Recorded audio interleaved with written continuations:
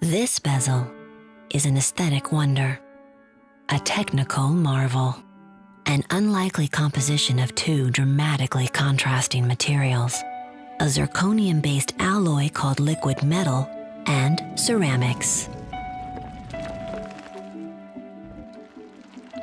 We start by forming a host of ceramic rings, which we subject to incredible punishment. They are heated in an oven to over 1400 degrees Celsius, resulting in a ceramic which is so hard that it takes an 8000 watt laser ray to cut cavities into the surface of the material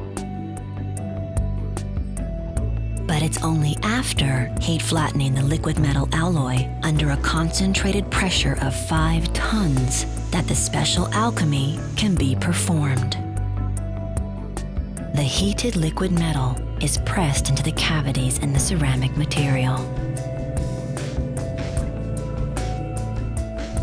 The result is a bezel, which will retain its striking appearance indefinitely thanks to the hardness of the two seamlessly bonded materials. The liquid metal numbers and scaling will appear in bold, vivid contrast to the glossy ceramic background.